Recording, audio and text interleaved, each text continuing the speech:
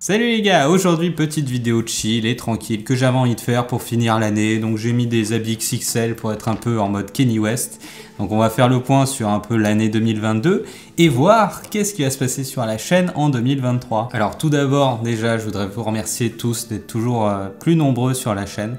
Ça me fait vraiment plaisir en fait de pouvoir créer euh, des vidéos qui plaisent et qui soient vues. Et ça aussi je remercie aussi cette époque euh, et YouTube. Franchement, si j'étais né dans les années 70, bah, je serais sûrement tombé dans la télé ou un truc comme ça. Et, ça aurait été beaucoup moins cool que YouTube parce que vraiment, euh, je peux faire vraiment quasiment ce que je veux. Quoi. Je choisis le sujet et tout. Et en plus, il y a eu ces jours des EMG, donc euh, ça me permet aussi. Bon, c'est vrai que j'aurais pu y aller bénévolement sans même faire de vidéo, hein, c'est ce, ce qui était prévu à la base. De faire des choses comme ça et de devoir faire un mini reportage à chaque fois euh, dessus, et eh ben c'est encore plus cool parce que ça me fait un peu des, vidéos de vacances, quoi. Un peu, c'est. vraiment, euh, franchement, j'adore ce que je fais sur YouTube. Hein. C'est vraiment cool. Et je vous prépare de sacrés trucs pour 2023. Donc, ouais, je suis sacrément content de, l'année. Alors, il faut savoir qu'il y aura moins de critiques. Bon, des critiques pures de films comme ça. Ça, j'en ferai un peu moins, tout simplement parce qu'il y a d'autres youtubeurs qui le font même bien mieux que moi, je trouve. Et puis, bah, j'ai peut-être envie de parler d'autres choses, surtout qu'à chaque fois j'ai l'impression de défoncer les films, alors que je suis un très très bon public, il y a plein de films que j'adore. Mais par exemple, là je suis en train de, préparer la critique d'Avatar, et malheureusement, je m'y attendais pas, mais j'ai pas aimé. Euh, je m'attendais vraiment pas à, ne pas aimer Avatar. Ça, c'est vraiment très dommage et j'ai pas non plus envie de vous faire des vidéos à chaque fois où je défonce des films parce que c'est pas cool, quoi. Surtout que la plupart des films, je les aime. Donc il y aura quasiment pas de critique, mais il y aura quand même, euh, pour certains films euh, sur lesquels j'aimerais parler quand même, quand même. Donc pour la nouvelle année, il y a Hunger Games 3 que j'ai fini d'écrire, qu'il faut absolument que je tourne, mais ça fait partie des très grosses vidéos euh, que j'ai du mal à tourner parce que je sais que je vais y passer 3 heures en tournage, et facilement 20 heures ou 30 heures de montage derrière. Donc c'est vrai que j'ai pas encore pris le temps, mais ça c'est ma priorité du mois de janvier. Ça c'est pour les secrets parce que du coup il y a le 3, il y a le 4 qui, que j'ai quasiment fini d'écrire aussi. Et puis il y aura le 5, mais bon ça ce sera plus loin dans l'année 2023 parce qu'il faut déjà qu'il sorte au ciné, je vous rappelle. Hein. Mais c'est vrai que c'est vraiment cool hein, de pouvoir euh, creuser un film, de pouvoir donner son avis. C'est un espèce de format que j'ai voulu faire parce que euh, parler uniquement des anecdotes de tournage, c'était un peu chiant. Et puis faire une critique d'un film mais que t'as aimé, bah c'est difficile. Donc j'aime bien le fait de pouvoir mixer les deux en fait, anecdote de tournage, mon avis sur certaines scènes, sur certains plans. Ça je trouve ça vraiment cool. Euh, j'aime beaucoup ce genre de format, même s'il prend énormément de temps. Hein. Euh, ah bah d'ailleurs j'ai l'autre format. Bon, peut-être parler de Stargate tout d'abord. Euh, le séjour c'est chez EMG, je suis vraiment très content d'avoir pu le faire, d'avoir rencontré tous ces gens. Euh, d'être un peu rentré dans cette espèce de caste des, fans de Stargate, parce que c'est vraiment une caste, euh, une espèce de groupe de fans que j'avais jamais véritablement rencontré, à qui j'avais jamais vraiment parlé. Donc ça c'est vraiment cool de pouvoir partager ça, les avis, euh, parce qu'on a bien sûr énormément discuté pendant le séjour. Hein. Ça je suis vraiment très content, j'aimerais bien faire une vidéo avec Athlon Props, pour qu'il me montre un peu sa collection, si je peux faire une vidéo là-dessus. Euh, mais pour l'instant, moi, ce que j'ai prévu sur Stargate, donc c'est une vidéo que j'ai fini d'écrire où c'est les acteurs de Stargate Atlantis, qu'est-ce qu'ils sont devenus, donc un peu 10 ans plus tard, même si là, ça va devenir 14, 15 ans plus tard, 14 euh, ou 15 ans, oh la vache. Mon dieu, mais ça va bientôt faire 15 ans que Stargate Atlantis est fini. Oh là là. Oh, je me sens vieux là. Donc j'ai ça qui est préparé.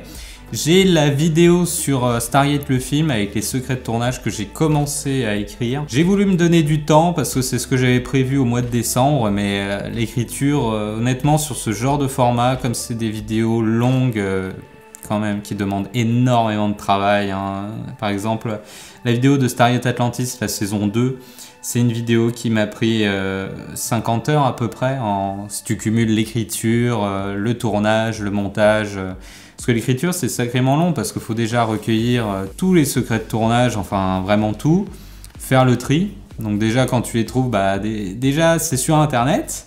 Tu vois, tu as, un bon morceau sur Internet. Après, tu as tous les bonus DVD à voir, à aller noter et tout. Dès que tu as toutes ces anecdotes, faut te poser la question euh, lesquelles sont vraiment bien, parce que bien sûr, il y en a qui, qui servent à rien, hein, qui sont mis à la poubelle. en particulier dans les bonus de Stargate où ils arrêtent pas de faire des blagues dans tous les sens. Donc c'est marrant, mais ça fait un peu des bonus euh, très très longs pour rien. Mais c'est un peu long quand même, surtout quand tu le regardes, que tu t'attends à avoir des trucs et au final t'as 15 minutes de mecs euh, qui arrêtent pas de balancer des blagues H24, en particulier les producteurs.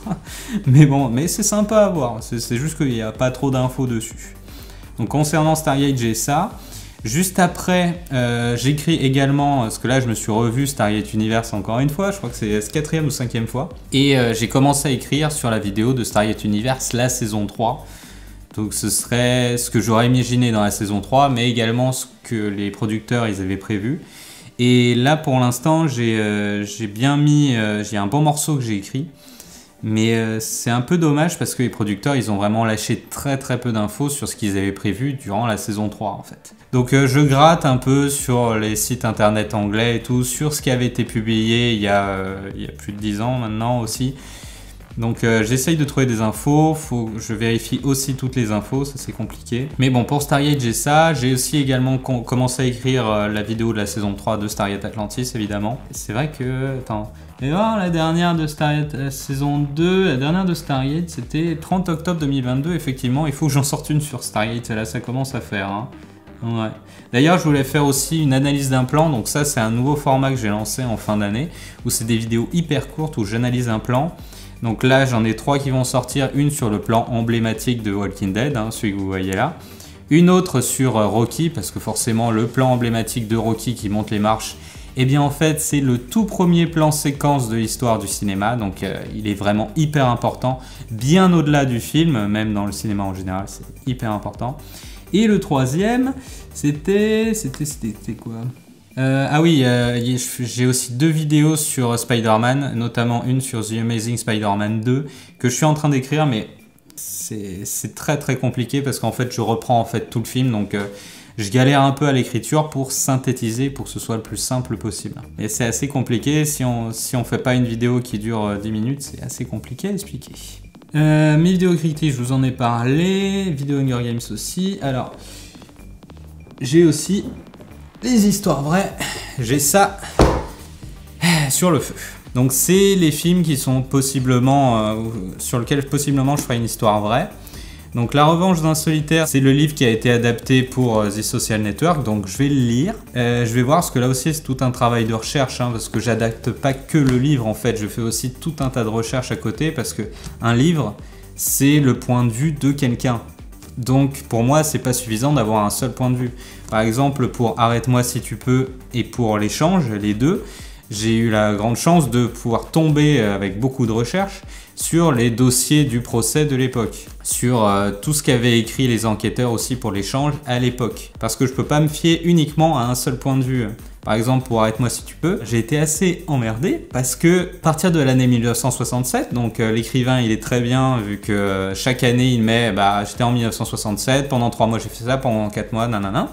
Et quand on arrive à l'année 67 en fait, et eh ben t'as tout un morceau comme ça. Et au bout du morceau, j'étais en mode mais mais attends, mais ça fait 3 ans que t'es en 1967 là mon gars.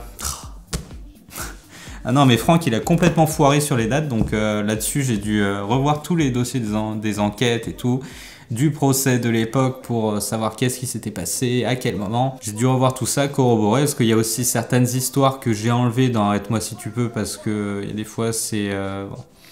Tu sens que c'est un peu de l'invention de sa part, quoi, quand même.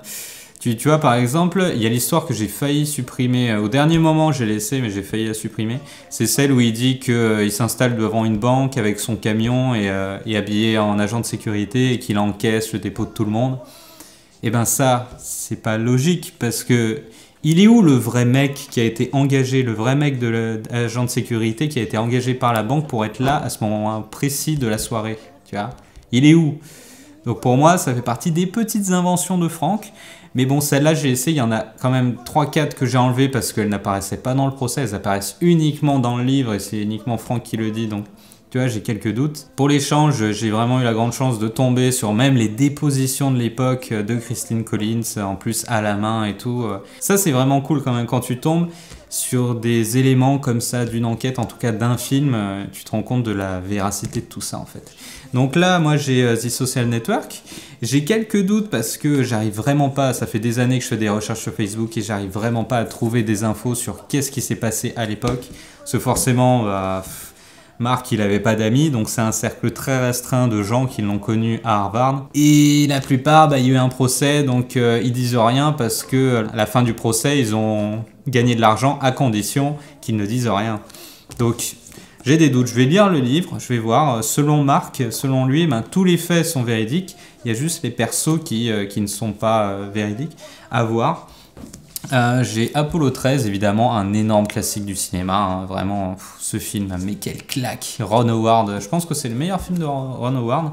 Et j'ai un peu trop vu ce film, donc je, je, connais tellement par cœur. Il me semble que sur les événements, ils ont vraiment été au poil pour que tous les événements soient vraiment nickel chrome.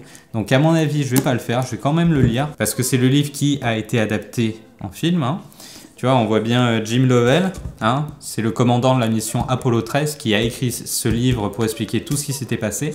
Mais d'après ce que j'ai vu, ils ont vraiment essayé d'être au plus proche du réel dans le film, donc à mon avis, je le ferai pas. En revanche, là j'ai le loup de Wall Street. Hmm, à mon avis, lui, je vais le faire, hein, ça c'est sûr. Surtout qu'à l'arrière, tu vois, ça, vend vraiment du rêve. Hein. Il y a juste écrit, première phrase. Hein. Oui, aujourd'hui, je sais que le lancer de nain c'est mal, et que c'est mal aussi de partouzer avec 4 euh, putains. Et que c'est mal de manipuler le cours des actions. non mais voilà, c'est des petits détails comme ça que j'aime, que j'aime bien, que j'adore. Donc à mon avis, le de Wall Street, euh, il y aura pas mal de choses à écrire. Et puis, euh, et puis voilà, c'est vrai qu'il y a beaucoup de choses à faire cette année. Euh, j'ai déjà des petits hors-série que j'aimerais faire, euh, que j'ai déjà écrit. Bah, peut-on lire un Blu-ray 4K sur un lecteur Blu-ray ou une PS4 Ça, c'est une vidéo que j'ai que, que déjà écrite qu'il faut que je tourne. J'ai aussi une mini vidéo parodique sur le, le Blu-ray le plus bizarre que j'ai de ma collection. Honnêtement, c'est le plus bizarre. Cette année, je vais surtout me concentrer sur les analyses d'un plan et sur euh, donc euh, les histoires vraies, Stargate, finir Hunger Games. J'aimerais bien faire d'autres vidéos du format euh, sur les traces 2 parce que j'aime beaucoup ce format, il est cool, ça me permet un peu de faire un reportage extérieur et de faire des vidéos un peu moins préparées, bah, comme celle-ci quoi. Quoi dire de plus Je pense que c'est un petit bilan assez rapide hein, quand même qu'on a fait là. Non, non, franchement, je suis très content de l'évolution de la chaîne. C'est vraiment un boulot qui est éreintant mais qui est passionnant. Et si j'avais su, j'aurais commencé euh, bien plus tôt, dès 2015, quand on m'en parlait justement de, le faire. Euh. Mais justement, à l'époque, il n'y avait que de l'humour. Donc moi, je n'étais pas lancé parce que, bah ouais, euh, moi, je me considère pas comme marrant à la base. J'avais pas non plus envie, mais au final, j'aurais dû me lancer là-dessus. En tout cas, merci d'être toujours plus nombreux sur la chaîne. Hein, je vous le redis encore, mais je vous le redirai encore et encore. Et c'est vraiment cool de pouvoir faire des vidéos qui sont appréciées, d'avoir vos retours en commentaire, en like, etc. Et moi, en tout cas, je vous souhaite une très très bonne année 2023. J'espère qu'elle sera encore meilleure que l'année 2022 et qu'il y aura plus de Covid, qu'il y aura plus ce genre de conneries. Euh. Ça aussi, ça commence à me saouler. Je regarde plus les infos parce que c'est chiant. Au final, tout va bien.